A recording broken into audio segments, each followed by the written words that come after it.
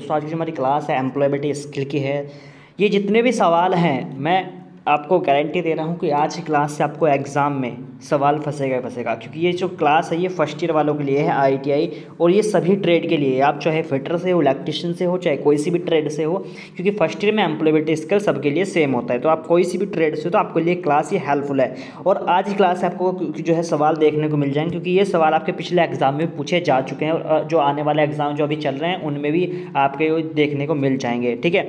चलिए तो पहला सवाल है, मैं जल्दी से स्टार्ट करता हूँ। उच्चारण को संदर्भित करते हैं। एक किस्म से आपको बोलने का तरीका आपसे पूछ रहा है ना?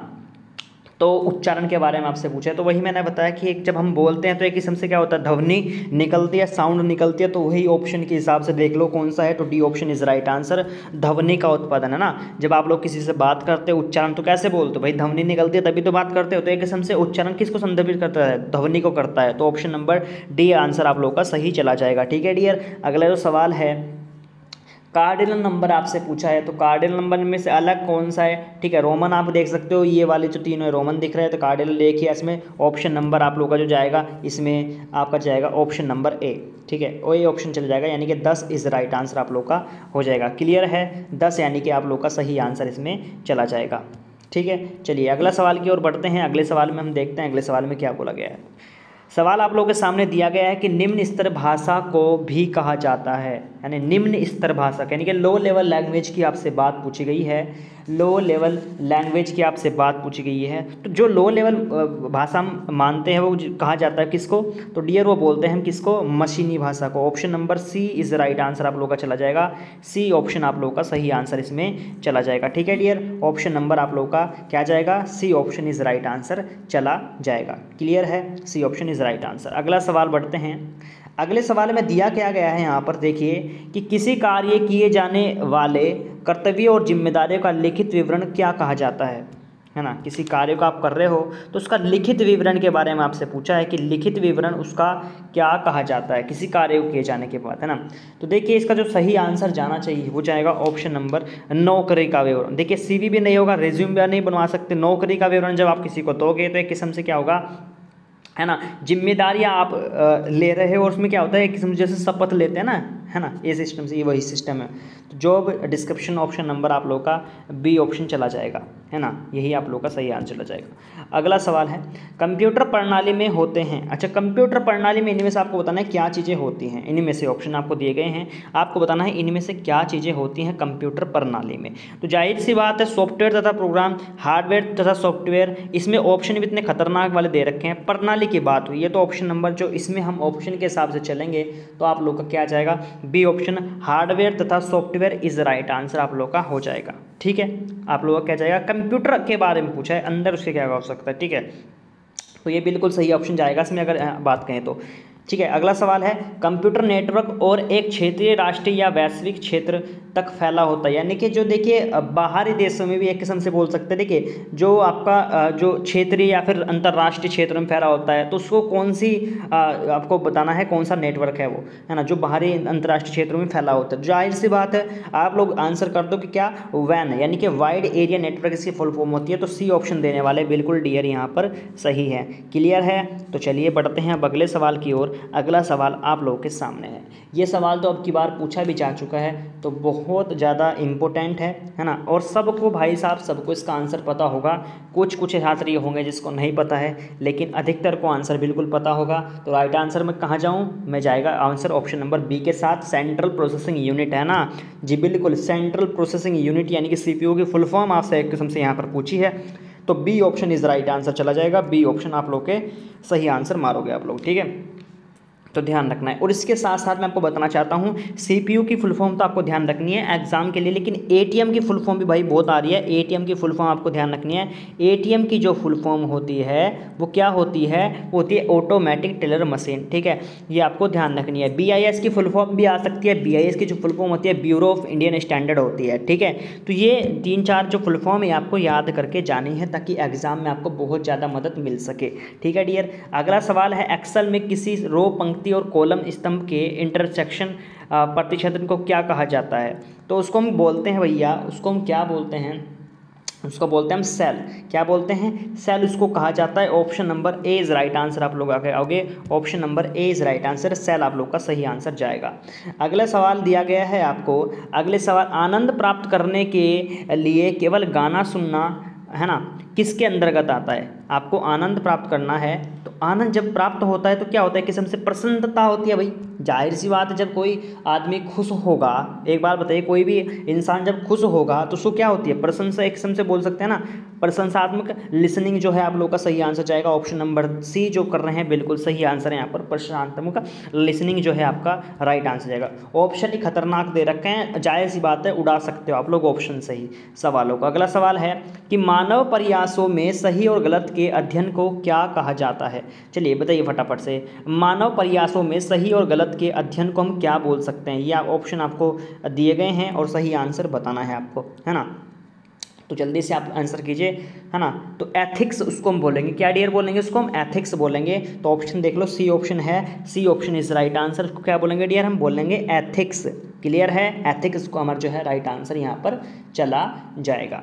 ठीक है? चलिए, अब अगला जो सवाल है, अगले सवाल की ओर हम बढ़ते हैं। अगले सवाल में क्या कह रहे हैं? उद्यमिका है ना? एक किस्म से उद्यमिका तो क्या कहा जाता है? तो उद्यमिता मैंने आप लोगों को बताए रखा है। पहले जो बिजनेसमैन होता है ना, जो स्वयं का रोज़गार कर सकता है। करता है किस्म से, जो बिजनेसमैन होता है, किसी ने अपनी दुकान खोलनी किसी ने अपनी कंपनी चला रखी है, यानी कि किसी की नौकरी नहीं करता वो। क्या नहीं करता? किसी की नौकरी नहीं करता। वो सिर्फ़ अपना ही रोज़गार करता है, ठीक है? तो उसको क्या बोलते हैं? उद्यमित बोलते हैं। ऑप्शन में देख लो स्वयं रोज़गार यानी कि सेल्फ सेल्फ एम्प्लॉयमेंट तो वही होता है, जो स्वयं का रोज़गार करता है, उसको क्या बोलते हैं? स्वयं रोज़गार तो ऑप्शन नंबर सी आप लोग का सही आंसर इसमें चला जाएगा डियर क्या ऑप्शन जाएगा? ऑप्शन नंबर सी आप लोग का सही आंसर चला जाएगा। स्वयं रोज़गार, जो अपना रोज़गार करे, ठीक है, किसी की नौकरी ना करे, उसको उद्यमी बोलते हैं। ठीक है डियर चलिए, अगला सवाल हम बढ़ते हैं अगले सवाल की ओर।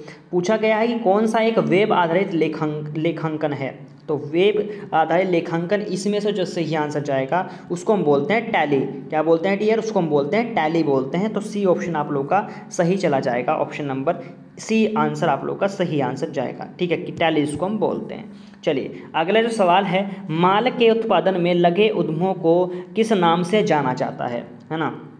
ये आपको आंसर करना है, माल के उत्पादन में लगे उद्यमों को किस नाम से जाना जाता है? तो डियर इसका जो सही आंसर जाना चाहिए, वो जाएगा ऑप्शन नंबर वी निर्माण उद्यम, है ना? किस नाम से जाना जाता है? वी निर्माण उद्यम, उद्गम बोलते हैं, ठीक है? ऑप्शन नंबर जो ए ऑप्शन मार रहे हैं यहाँ पर बिल्कुल सही आंसर है, ठीक है? ए ऑप्शन आप लोग का सही आंसर जाएगा डियर ठीक है? क्लियर है? अगला सवाल की ओर बढ़ते हैं, कि कम उत्पादकता से क्या आपसे पूछा है? है ना, क्या हो सकता है किस्म से ना? जी, अगर कम उत्पादकता होगी, है ना तो क्या होगा? नौकरी की सुरक्षा बढ़ेगी, कम उत्पादकता से? गलत, बिल्कुल। ये तो हो ही नहीं सकता। राजनीति स्थिरता तो ये भी नहीं आंसर। प्रति व्यक्ति जीडीपी में कमी हाँ ये सिस्टम बन सकता है। क्योंकि एक बात बताइए, जब उत्पादकता ही कम होगी, है ना तो जीडीपी बढ़ेगी या फिर घटेगी? तो ज़ाहिर सी बात है जीडीपी तो डाउन जाएगी ही, है ना? तो बिल्कुल सही है ऑप्शन नंबर सी आप लोग का प्रति व्यक्ति जीडीपी में कमी आ जाएगी, है ना? बिल्कुल सही है ऑप्शन नंबर आप लोग का सही आ जाएगा ऑप्शन नंबर यहाँ पर सी ऑप्शन सही है। ठीक है? चलिए, अब अगला सवाल है, भूकंप के दिया कि भूकंप आप लोग किससे मापोगे? है ना, भूकंप के बारे में पूछ लिया गया कि भूकंप जो है किस यंत्र से मापा जाता है? भूकंप जो है भैया, किस यंत्र से मापा जाता है? देखिए ऑप्शन तो इस प्रकार से आपको दे रखे हैं निमी वालों ने। लेकिन भाई, हो सकता है लैंग्वेज वो चेंज कर दे आपको। देखिए, अगर आपको हिंदी में देगा तो हिंदी में तो आप लोग उड़ा सकते हो डायरेक्टली क्यों? क्योंकि हिंदी में डायरेक्ट दे रखा है भूकंप सूचक यंत्र। है ना? भूकंप सूचक यंत्र हिंदी में तो डायरेक्टली दे रखा है, आप लोग उड़ा दोगे लेकिन डियर अगर इंग्लिश में दे रखा है, आपको क्या? सिस्मोग्राफ क्या बोलते हैं? सिस्मोग्राफ बोलते हैं। अगर ये हिंदी में लिख दे सिस्मोग्राफ ठीक है? तो ये सिस्टम आपको फिर कंफ्यूज करते हैं। तो आपको इंग्लिश में भी ध्यान रखना है। सिस्मोग्राफ जो होता है क्या? जिससे हम भूकंप भूकंप के जो है आने वाले, अगर भूकंप आ रहा है तो उसके हम माप सकते हैं, ठीक है? भूकंप का नाम ये मान, क्या होता है यंत्र का नाम? सिस्मोग्राफ होता है, ठीक है डियर चलिए, अगला जो सवाल है, उनके पर्यावरण के संबंध में जीवित चीज़ों के अध्ययन को क्या कहा जाता है? है ना?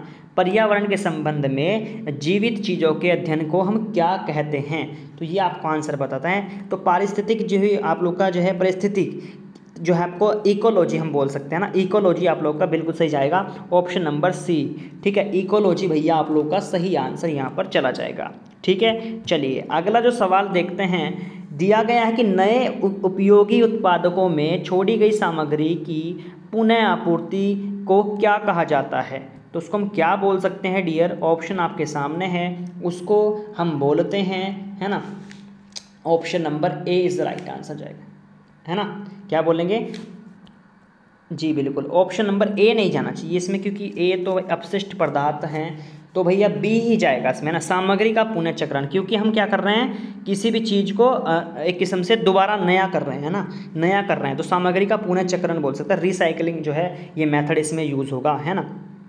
छोड़ी गई सामग्री की पुनः आपूर्ति को कहा जाता है। जी बिल्कुल। आप किसी भी सामान को अगर मान लीजिए आपने देखा होगा जो आ, जो पॉलीथीन जो पड़ी रहती हैं तो उनको कोई चुगता रहता है जो बोतल वगैरह आप लोग जो फेंक देते हो पानी पे करके जो प्लास्टिक की होती है उनको आप लोग फेंक देते हो। तो क्या होता है वो प्लास्टिक होती है वो रिन्यू होकर दोबारा फिर आ जाती है। जो पॉलीथीन वगैरह होती है पिंगल करके दोबारा फिर उसको रिन्यू करते हैं। एक क्या हो रहा है रिसाइकिलिंग हो रहा है ना? रिसाइकिलिंग की जो है प्रक्रिया यहाँ पर चल रही है। ठीक है डियर? तो क्या होगा उसमें? आपका जो है यहाँ पर पुनः चक्रण बोलते हैं उसको रिसाइकलिंग है ना? ऑप्शन नंबर बी आंसर जाएगा। ठीक है, बिल्कुल सही है। अच्छा अगला सवाल दिया गया आई एल ओ का विस्तार रूप आपसे पूछा है। फुल फॉर्म आपसे पूछी गई है। आई एल ओ की फुल फॉर्म आपसे दी है, पूछी है। तो सही आंसर डियर जो जाएगा यहाँ पर, वो जाएगा international labour organisation option number जो लोग कर एक ऑप्शन मार रहे हैं, बिल्कुल सही आंसर है। इंटरनेशनल लेबर ऑर्गेनाइजेशन आप लोगों का इसमें सही आंसर चला जाएगा। ठीक है, चलिए, अब बढ़ते हैं आपके अगले सवाल की ओर। ये है आपका सेकंड लास्ट क्वेश्चन अब फ़िश बोन चार्ट को क्या कहा जाता है? फ़िश बोन चार्ट को क्या कहा जाता है? तो डियर उसको हम बोलते हैं कारण और प्रभाव के आरेख, है ना? बिल्कुल सही ऑप्शन ए आप लोगों का सही आंसर चला जाएगा। A option is right answer अगला जो लास्ट क्वेश्चन है, वो है एस ई आर आई किसके लिए है? है ना? एस ई आर आई किसके लिए है? सुलझाना सॉर्टिंग आउट है ना? Option number A right answer आप लोग का इसमें चला जाएगा।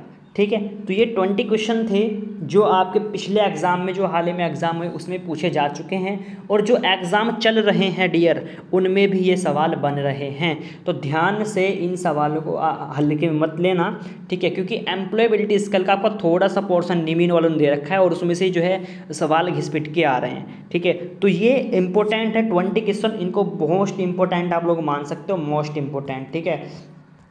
तो भैया क्लास को अगर चाहो तो एक बार दोबारा फिर से देख लेना। अगर ज़रूरत पड़ी तो एग्ज़ाम में जाने से पहले, क्योंकि एम्प्लॉयबिलिटी स्किल आपके 20 क्वेश्चन आएँगे और जो बहुत ही आपको परसेंटेज बढ़ा भी सकते हैं और घटा भी सकते हैं। ठीक है डियर और क्लासेस भी आपके लिए यहाँ पर कंटिन्यू चली रही हैं तो उनको भी देखते रहिए। और कोई भी आपका सवाल हो डाउट हो, परीक्षा को लेकर या कैसे भी रिलेटेड तो आप लोग मुझे कमेंट कर सकते हो डियर ठीक है तो चलिए आज की हम क्लास को फिर एंड करते हैं। मिलते हैं अब नेक्स्ट क्लास में। दोस्तों, आज के लिए इतना ही। धन्यवाद।